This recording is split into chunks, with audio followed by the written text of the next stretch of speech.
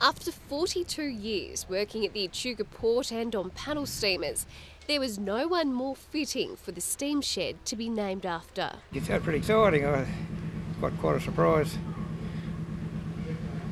I'm just a worker. I don't look out for those sort of things. Well, I can go anywhere um, in Australia and talk about the port, and invariably someone say, "You know Kevin Hutchinson." And he's inspired his family to follow in his footsteps. Kevin's son Neil runs Murray River paddle steamers after a childhood around the water.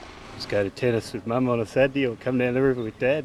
While his 12 year old grandson Dane catches the train up from Melbourne every school holidays to work around the port with his grandfather and uncle.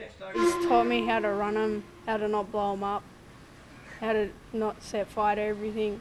And during the filming of the 80s classic All the Rivers Run, it was Kevin's job to teach the actors how to manage the boats. And it was interesting, we just brought John uh, Waters back from All the Rivers Run fame uh, to do some filming here for us, and the first person he wanted to see when he got back, Kevin.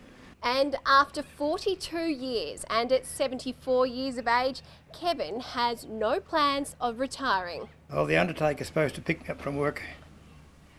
That's what I'm hoping for. You never know, like at a big city, do you? Sarah Lawrence, Win News.